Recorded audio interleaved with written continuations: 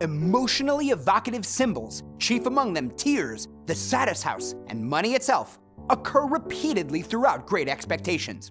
Charles Dickens uses tears to represent passionate emotions, like gratefulness, love, and shame. In Great Expectations, tears have a benevolent, clarifying effect. When Pip cries, he feels better afterward.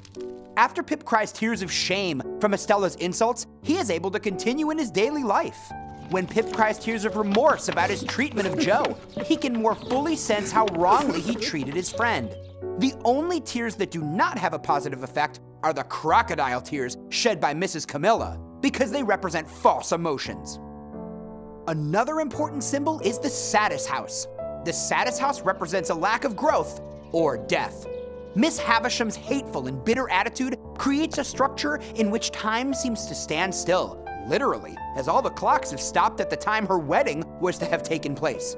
Nothing significant changes in Satis House. The furniture remains in the same position without being dusted for years. The wedding cake remains on the table, covered in cobwebs. Miss Havisham has created her own mausoleum that will house her corpse. Satis is Latin for enough. The title could be ironic. Estella suggests the term satis implies that a person who owns this house has enough of everything. However, Miss Havisham doesn't have enough love. In fact, she does not have enough of anything except money and bitterness. Money is another key symbol.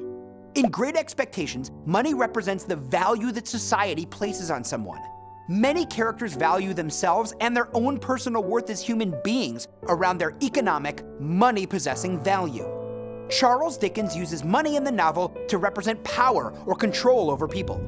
For example, Miss Havisham uses money like a puppet master to make Estella do exactly what the recluse wants her to do in London.